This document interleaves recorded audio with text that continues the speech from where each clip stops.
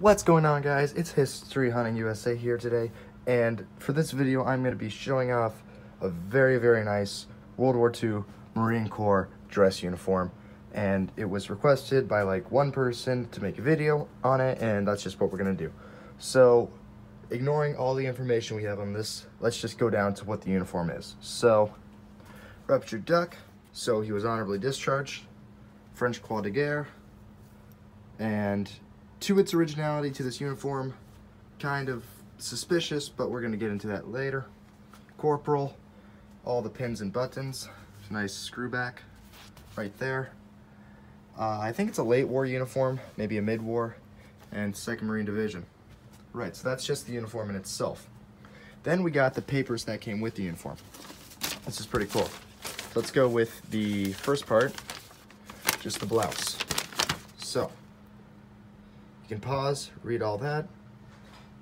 Basically just talking about generally really brief summary of the division and regiment and really brief condition overlay of the uniform.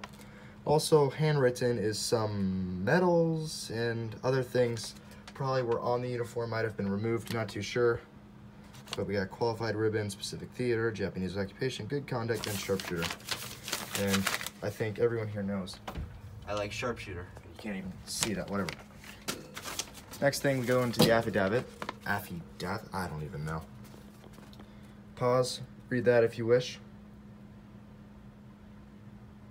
Basically, a corporal, obviously, by the name of Virgil L. Gorans, uh, was, I think he enlisted in 1944. In November of 1944, he got this uniform out of California, went to Saipan and he did patrols in Saipan, which was obviously you guy got a uniform from a guy who was in combat. That's already amazing. It gets better. He was in Saipan in 45, and afterwards he was shipped. And I keep getting Iwo Jima and Okinawa confused, so I'm just trying to Okinawa. Okay. He was sent on the USS Hinsdale to Okinawa to cause a distraction invasion, or alternate invasion. So basically, the main invasion force would be over here, he and a small group of Marines would be over here, distracting the Japanese. On the USS Hinsdale, three kamikazes from the Japanese, obviously, decided to circle a bunch of boats. First one was shot down, second one was shot down, but it was shot down so close, and if you read it on there, that the engine exploded and landed on the deck. Third kamikaze sadly hit the USS Hinsdale, same ship this guy was on hit the Hinsdale. Hinsdale started to sink. Him and a bunch of other Marines ran to one side to keep it from like, you know, sinking obviously. And after that, they had to scramble into landing craft and then they went ashore. So pretty crazy about this uniform already, but there's even more about it and it's, it's crazy what this guy's already done so far. Going to the next part, he's on Iwo Jima for a while. Um, they wander around for a little bit and then they had to return to Saipan. So, return to Saipan. Did a bunch of sorry I was reading that. And this is the second part. Pause, read that.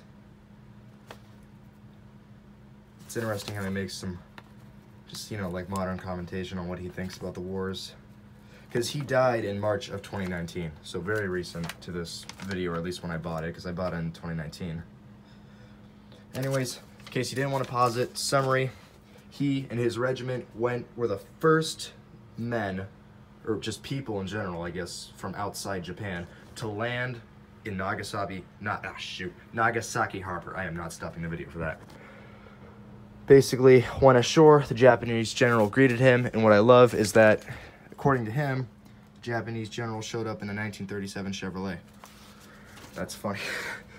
so yeah, basically, first people there, make some really interesting observations. One is that the red light district was completely untouched, but the Christian churches on the other side were just completely annihilated. So it's kind of interesting, just what he saw there in Nagasaki. So they sailed to some other places. Not sure how to pronounce them, not going to try it. Uh, battalion. They destroyed all the armaments and airplanes. Too bad we didn't do the same in Iraq. Later assigned to headquarters company. Went to a lot of other places. and then he was honorably discharged in 1946. So basically, 44 kind of, mainly 1945, 1946. So two years, two and a half year career Marine.